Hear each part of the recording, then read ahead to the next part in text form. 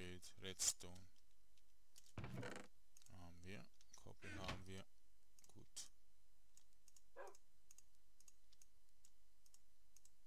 So leicht kann, können wir uns schützen. Aber leider nicht gegen Fraps.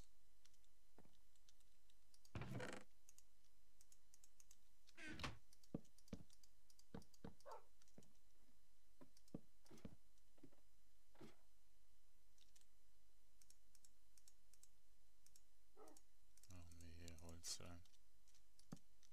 So.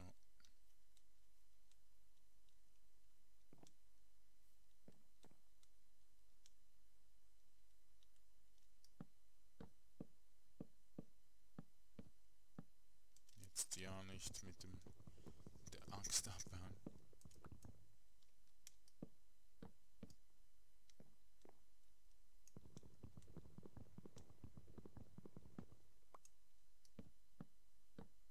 Ich weiß jetzt nicht, wie tief die funktionieren, aber wenn man hier hoch baut, müsste eigentlich nichts geschehen. So. Gut. Schauen wir uns die Aussicht an. Leider haben wir hier dort einen Krater. Sonst sieht alles noch recht schön aus. Und er schießt jetzt solche Bubbles in die Luft. Wo sind sie? Ah, er sammelt noch Energie.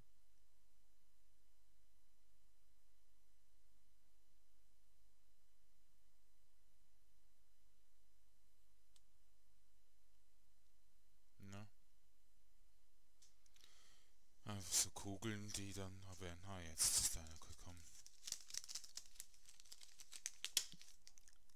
Ja. Gut, jetzt können wir wieder runter.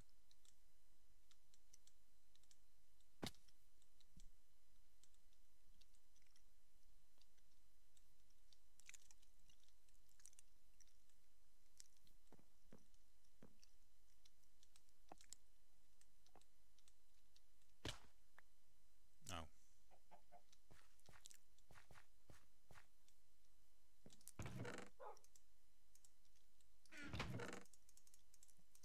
So. Gut. Gehen wir auf den Weg. Können wir noch... Haben wir ein Bett? Nein, wir haben natürlich kein Bett. Okay.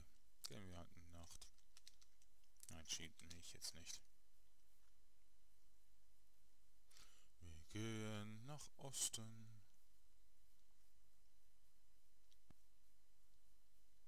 Und machen uns einen schönen Tag.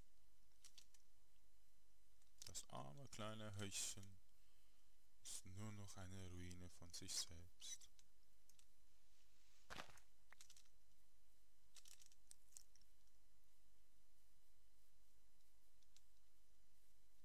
Fliegenpilz.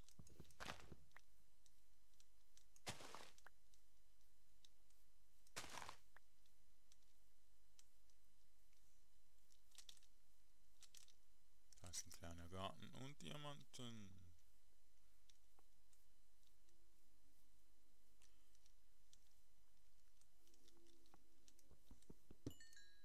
Ja. Sehr praktisch, wenn nur einer kommt.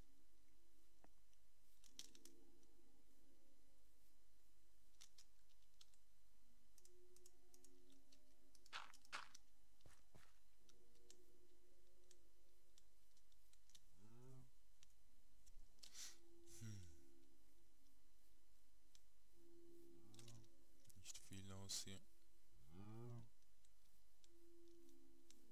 Kühe mit Mühe. Sonst Biom, bitte. Ich will ein anderes Biom. Wow. Okay. Friedhof kann man da nicht irgendwie die anschreiben müssen.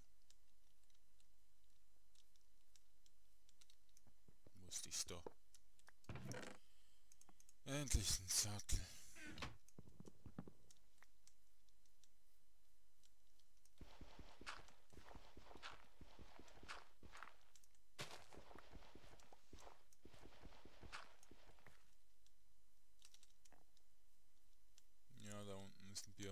Es wieder normales.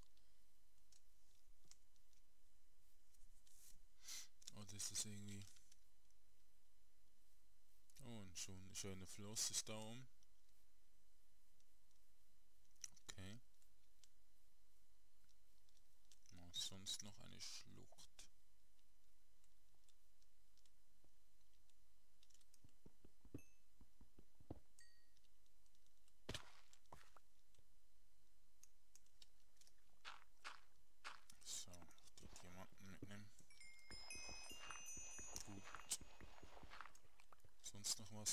Was? Mehr Diamanten. okay. Die sprießen hier. Die Tomaten. Das ist Eisen.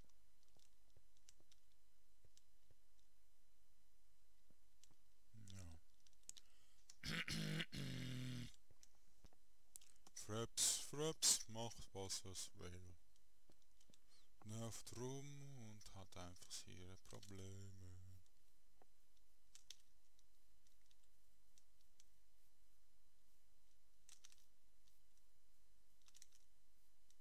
Okay, ein Hochland. Sonst irgendwas?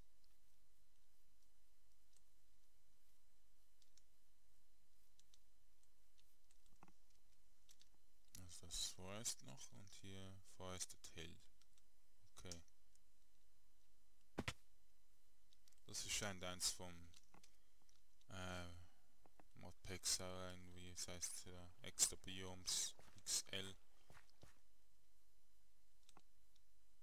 Das gibt es nämlich im Original noch nicht, so eine Kombination.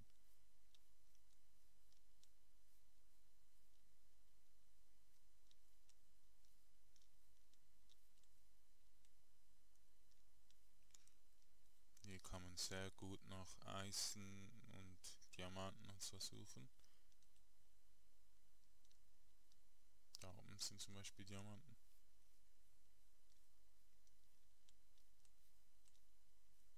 Okay, eigentlich wollte ich in der Aufnahmesession noch ein bisschen Action machen. Aber das wäre jetzt gut, wenn wir dann die nächste Episode, also nächste Aufnahmestaffel dann direkt anfangen mit den Türmen, weil wir haben ja genug Diamanten. Zum Beispiel solch einen Turm. Die äh, Ruinentürme sind nicht so sehr spendabel. Dann gibt es dort noch die...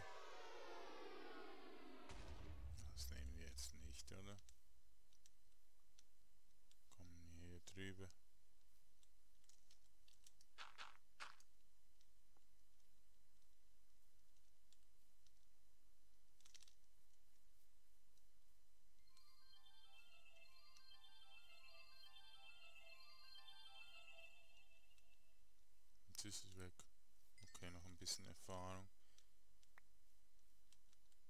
bekommen und ein Stardust.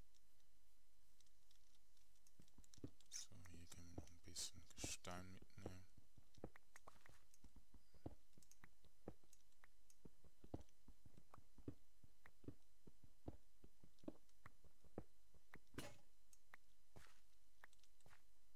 Ja, das wär's. Also. Ähm. Ich habe keinen Bock zurückzugehen. Ich cheate mich zurück. Ha. Ich bin so der epische Cheater.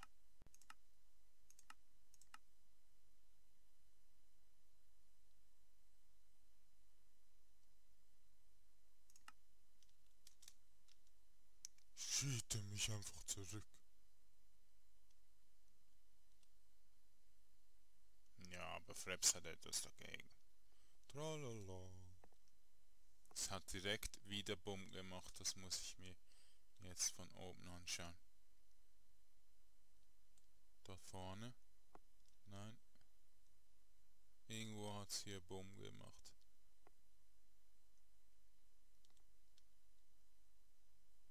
Eigentlich will ich mich ja nicht zu sehr spoilern lassen, was die Umgebung antrifft, aber das ist mir wichtig jetzt, wo dieser Meteor runtergekommen ist.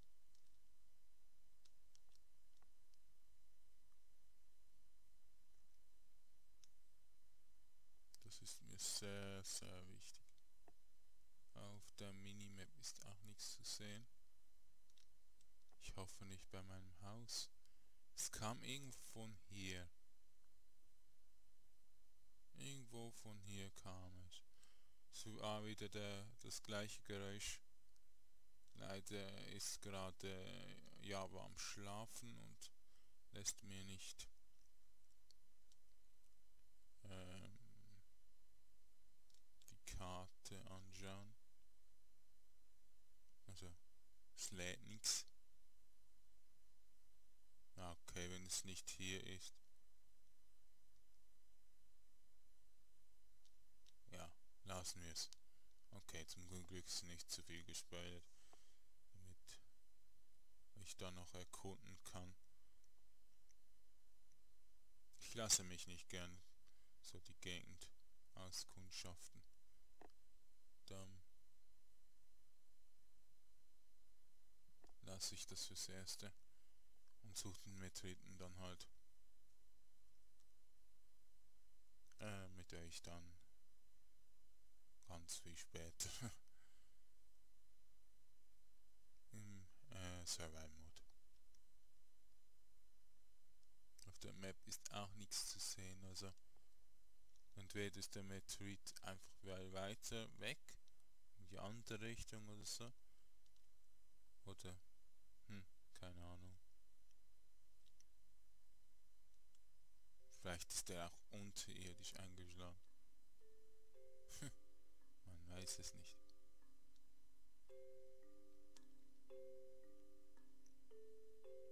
So, sind wieder zu Hause. Ist doch viel praktischer. Ähm, falsches Zeugs. Kreativmodus aus. Enable und Rezeptmode. Gut, schauen wir noch mal kurz auf die Karte. Da ist ein Turm. Da ist Lava.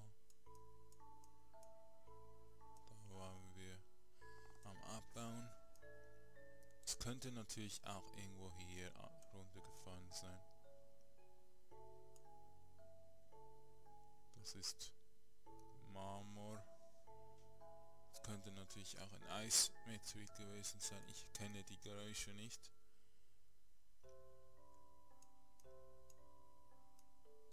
Wie weit sind denn sie zu hören?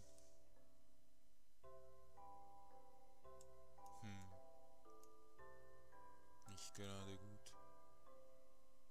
Da ist etwas Rotes. Ist er das? Das kann sein. Wo ist der andere schon wieder runtergefallen?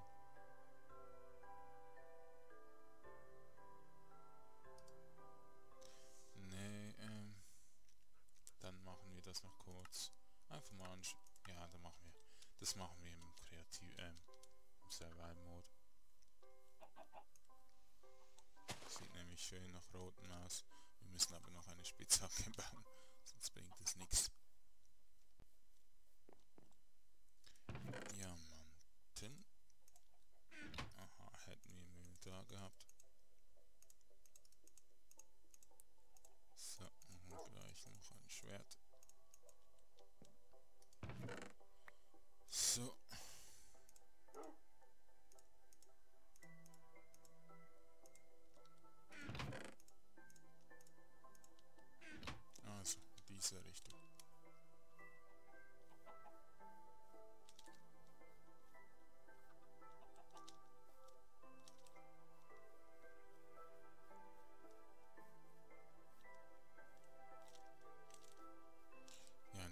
Dungeon werden wir wahrscheinlich zuerst gehen. Keine Ahnung, wie schwer der ist. Ich denke nicht so. Ich hoffe, ich irre mich nicht. Wir werden ihn dann mal ausprobieren.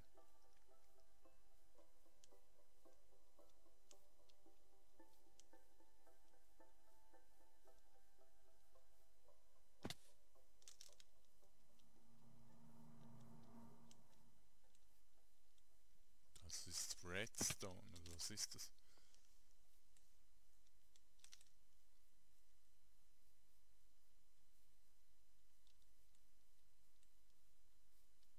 Cool.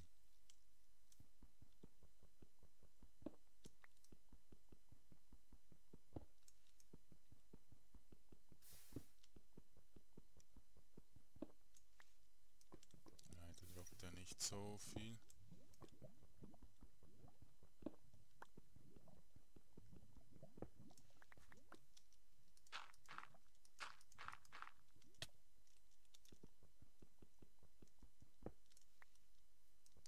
Sind sie wertvoll.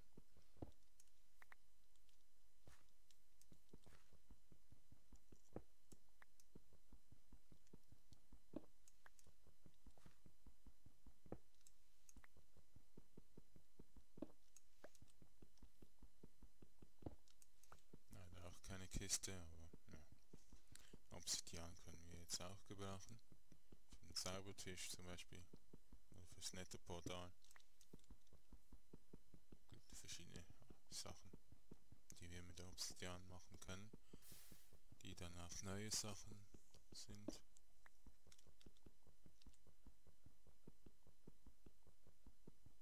Aber immerhin ist es nicht so ein Mega-Meteorit vorher. Und auch ein bisschen ergiebiger.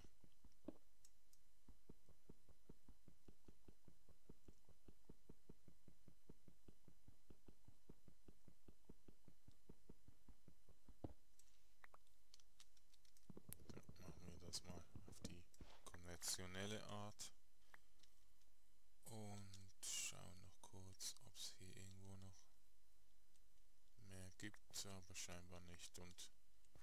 Und unterirdisch können die auch nicht sein, glaube ich. Also, was haben wir hier? Kreknorit-Chip. Uh. Kreknorit-Helm. Kreknorit-Chestplate. Meteor-Timer. Dann gibt es noch Frizerit-Kristall.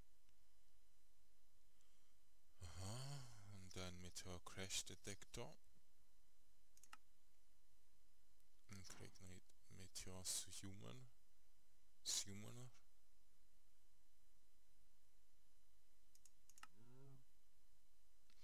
Okay, wir könnten das nächste Mal so einen machen, ähm, den da.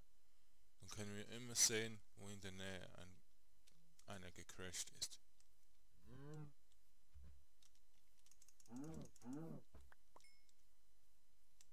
Sehr praktisch.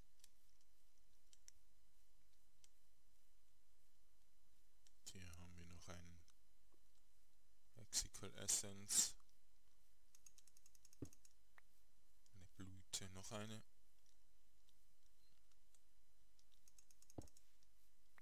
Sehr schön.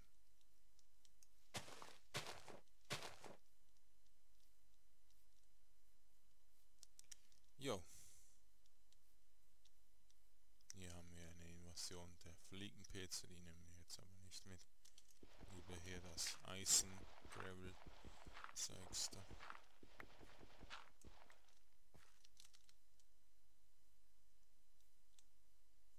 Und es lägt wieder. Ja, eventuell nehme ich das nächste Mal dann mit Dex Dextory oder sonst irgendwie ein gutes Programm auf, damit das nicht mehr passiert.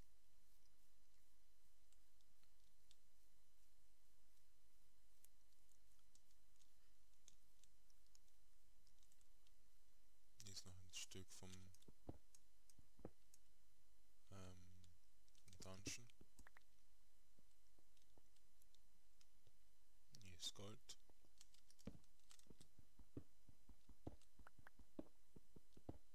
So, aber jetzt gehen wir wieder raus. Nicht schon wieder anfangen, süchtig nach Erzen zu suchen.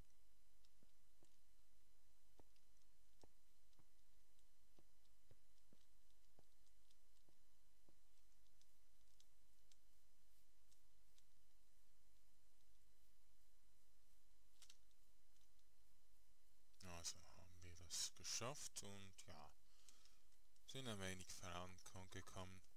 Das nächste Mal machen wir Sachen aus Diamanten. Und ja, mal schauen, was uns noch äh, kräften können und gehen auf Dungeon Tour. Okay, Dankeschön fürs Zuschauen. Ich hoffe, es hat euch gefallen und wenn ihr wollt, könnt ihr auch eine Bewertung dalassen und kommentieren. Jo. Und abonnieren ist natürlich kostenlos und ihr könnt mich immer wieder deabonnieren. Kein Problem. Also, tschüss.